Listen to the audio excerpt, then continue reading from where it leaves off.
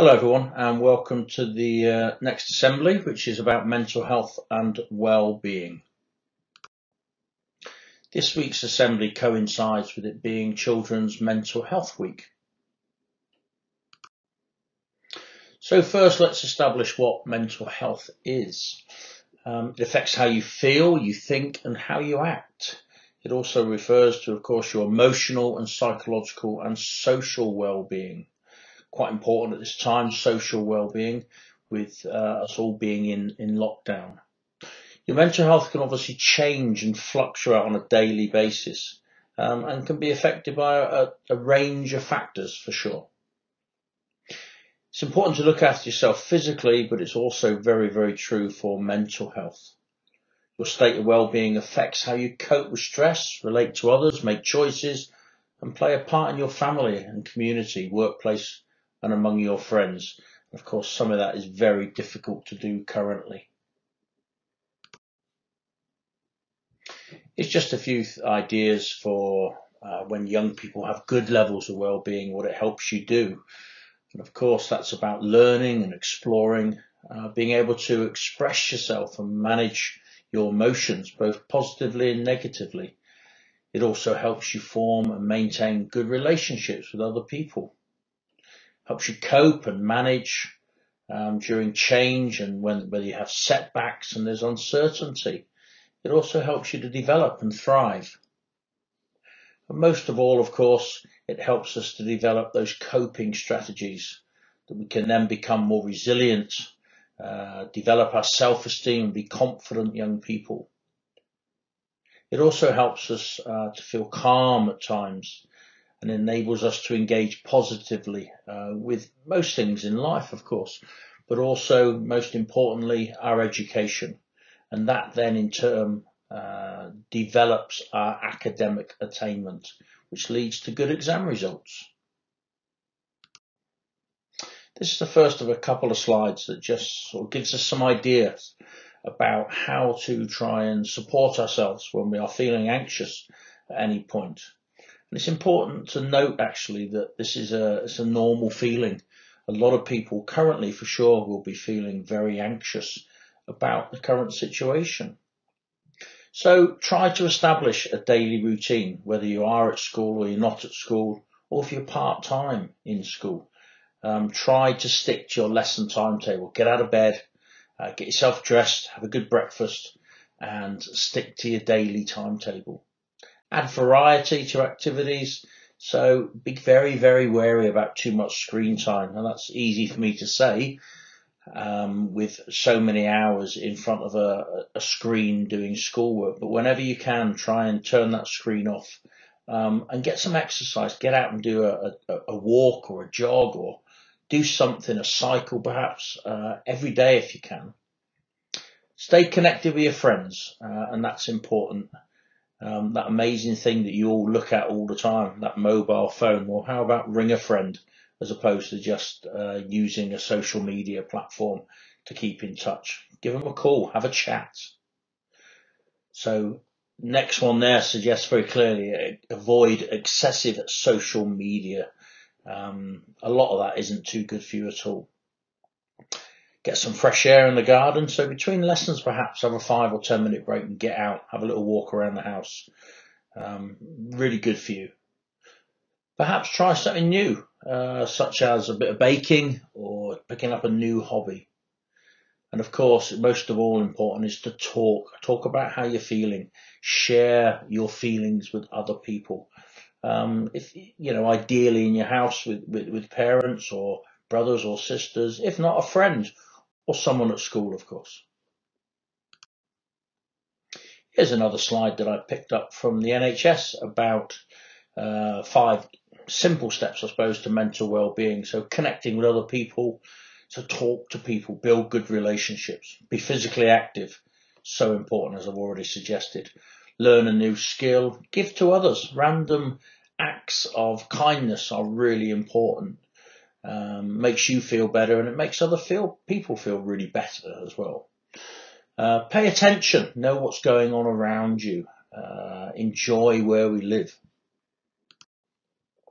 here's a great side that uh, just gives some ideas of signs of success in a pandemic. So have a little look, see if you can tick all of them off. Here's something I picked up uh, recently when I was doing a little bit of research around the assembly. Um, and it's about people feeling lonely, and that's particularly evident currently within uh, COVID pandemic that we're in. Um, please don't ever feel lonely. That's and that's that's the important message from this slide, I think, and and later on in the presentation. Um, and there's a really good website called thegoto.org. So have a little, uh, do some research, have a look, and you'll come up with some great stuff there. One of the great concerns around young people and not being at school and being at home every day and the internet um, is that um, we really do need to look after ourselves online and we need to be really smart about being uh, safe online. And there's a few really good top tips here that you need to have a read through um, and ensure you do seriously think about staying safe online.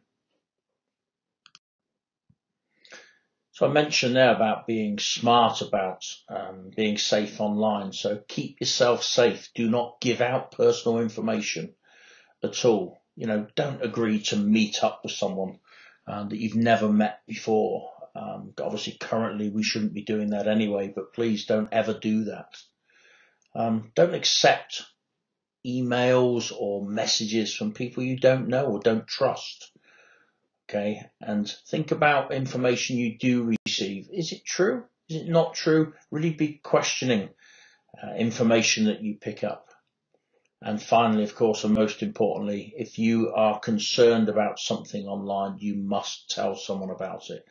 Tell your parents, tell some friends, tell a trusted adult, um, particularly someone at school if you are concerned.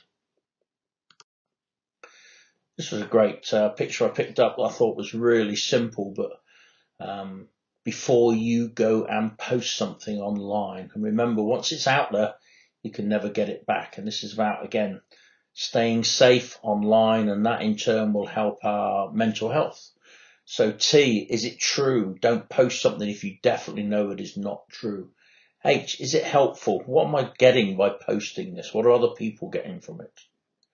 I, is it inspiring or is it just a complete waste of time? Why am I posting something? Is it necessary for N? So what is the point of this? What's the purpose of me posting something? And K, of course, importantly, is it kind? If you're posting something that is not kind, you should never post it at all.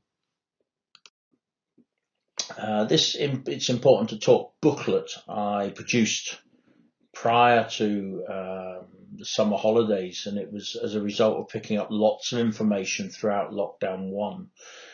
I've asked tutors to put this out to all of you again, so it would have been emailed out or gone out on Teams um, on Monday, the 1st of February. Please do look through the four pages. Some wonderful advice in it, uh, ideas on who you can talk to if you're worried, um, and lots of agencies out there that are there to support you. If um, mental health is something that really interests you and you are concerned around your mental health, this is a really good website, uh, the Anna Freud National Centre for Children and Families. Um, and they, they've got a website here that you can paste this into your browser uh, and have a look through some really good stuff. On uh, the 4th of February, it's uh, Time to Talk Day, and I, I, really like this. It's an annual event uh, whereby they're encouraging people just to talk to others. Uh, the power of small, conversation help lift someone's day. So you might not feel down, but you might know someone who does. Um, so please do uh, make the effort to talk to someone uh, regularly, you know, different people. So, you know, connecting with others, um, your friends is really, really important and it certainly does help improve mental health and well-being. As a safeguarding lead uh, for the school, I, I need to know that you are all looking after yourself.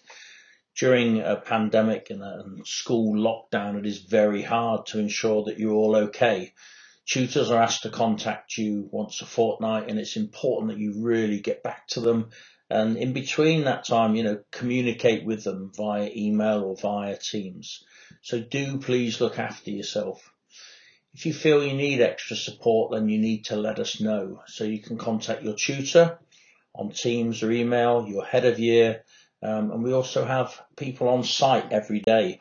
Um, you can either, if you're in school, you can see them, or I can get them to, to ring you, or I, you know, I can help myself or any member of our pastoral team are prepared to help you and support you. You just need to communicate that with us. So take care, everybody, uh, and please do look after yourself.